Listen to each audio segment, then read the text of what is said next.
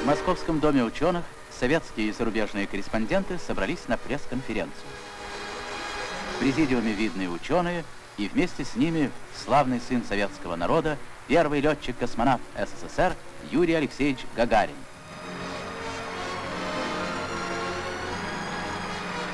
Академик Несмеянов рассказал о том, как готовился этот беспримерный полет. Он сердечно приветствовал Юрия Гагарина и от имени Президиума Академии наук СССР вручил космонавту золотую медаль Циолковского.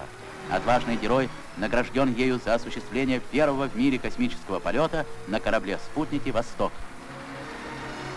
В своем заявлении космонавт Юрий Гагарин сказал, «Я безмерно рад, что моя любимая отчизна первой в истории человечества проникла в космос.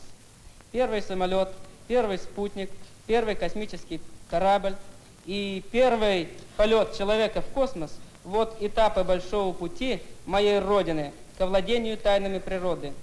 И я совершил этот полет во имя нашей Родины, во имя э, всего советского героического народа, во имя Коммунистической партии Советского Союза и ее Ленинского Центрального комитета.